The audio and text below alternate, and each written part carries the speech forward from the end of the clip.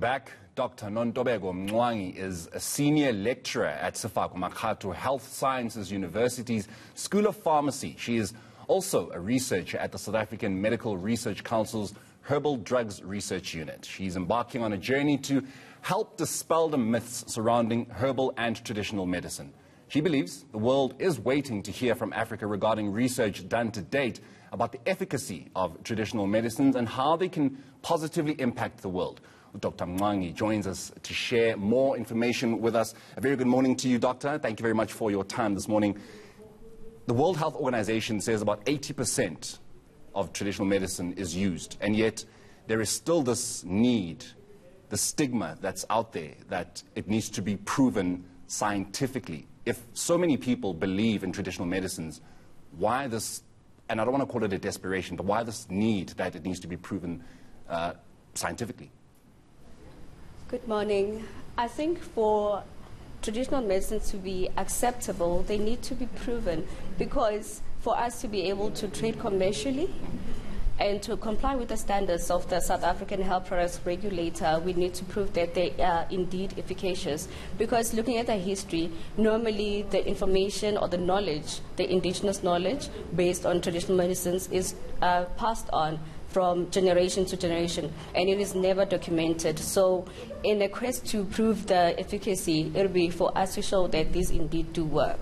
You mentioned, you know, this need to now trade it commercially, but there is some reluctance from traditional healers, you know, to, for lack of a better word, share their secrets as to how, they, how it is they put traditional medicines together. How then will you bridge that gap between, you know, the sciences and traditional medicine? Understanding that there is this need for it to go commercial?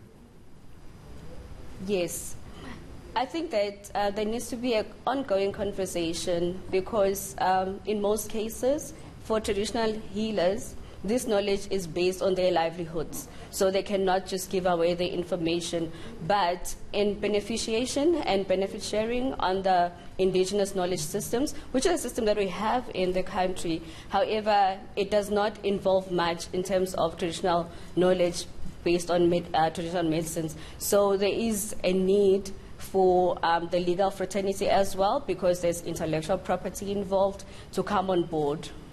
There is you know, public knowledge that uh, pharmaceutical giants, you know, are, are giants because they, they, they do things the way they do them. Is there no concern, I would imagine, from traditional healers that if medicines traditionally go, you know, commercial, that they will be taken over by these giants and these conglomerates that are already running pharmace- the pharmaceutical industry around the world? We have various examples in the country of indigenous knowledge uh, where it became commercialized. For example, the story of Hoodia, which became a very big story and it was traded globally without the evidence, the scientific evidence to show that it works.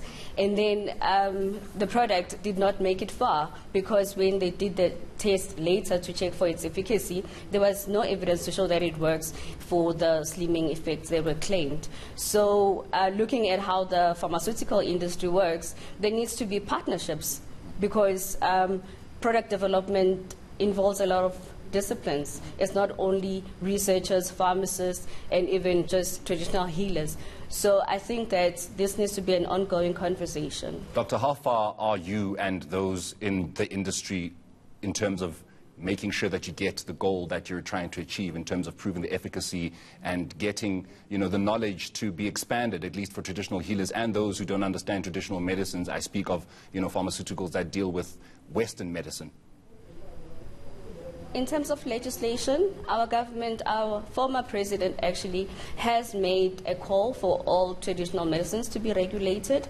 So there are some advancements in that space. And there's also ongoing research uh, from the Medical Research Council. And recently, the South African Health Products Regulatory Authority has said that um, they are embarking on a quest to have a special body just to look at the traditional medicines, focusing on their regulation. So there, there is some progress in that space. But what are some of the challenges that you found yourselves experiencing? One of them, you have already mentioned them, it's the sharing of the intellectual property with the knowledge holders, which may, may be traditional healers or somebody who just knows something about traditional medicines. For instance, now with the whole situation of COVID 19. We've seen a lot of people going into uh, the use of Lengana, which is Artemisia, without any evidence that it works and its safety.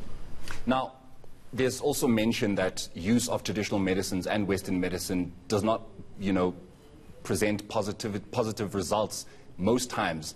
How then do you help people understand what to use, when to use, and how to use it?